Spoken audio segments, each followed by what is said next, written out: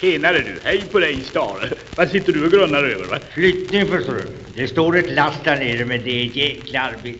Gummarna och grabbarna burit möbler hela dagen. Ja men du själv då? Ja, du förstår, någon måste övervaka det hela. Vara som den fältmarskalk, förstår du. Ta en geting du. Skål på det. Skål på dig.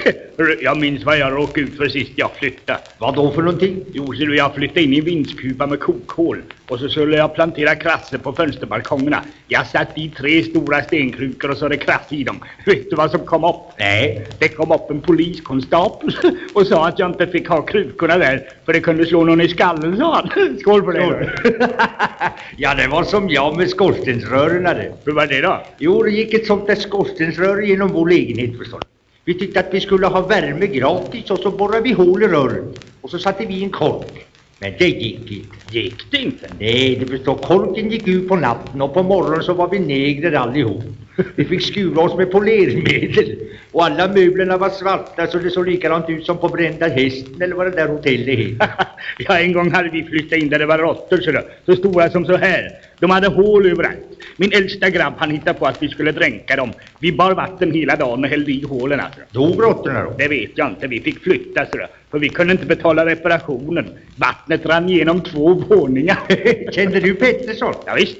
Han flyttar inte här. Ja, så var bor han då? Långholmen. Hmm. Vi bodde på Djurgården ett år och då hade vi en som bodde hos oss.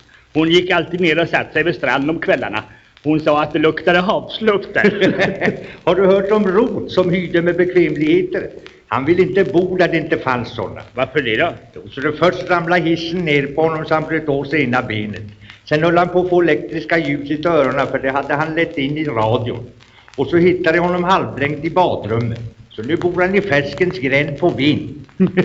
Hörru, jag tänker på den där Rot. Han hade en hund också. Har du hund? Nej, men min svärmor har en papegoja som kan säga flera svordomar. Ja, hon är lite tyst just nu för hon ruggar. Din svärmor? Nej, gojan förstås. Hörru, jag vet varför hon svär du.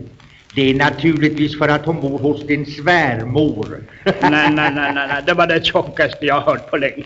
I alla fall så är det bevisat att hon är över hundra år. Gumman? Nej, fågel. Svärmor är ledsen för hon är alldeles flintskallig. Ja, då måste hon se jäklig ut.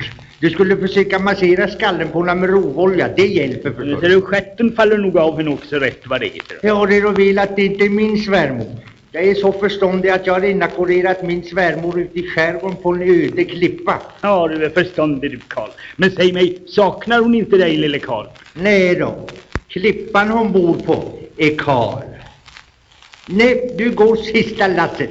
Hej svejs! Tjenare, tjenare, lycka till och trivs. Hälsa gumman och barnen.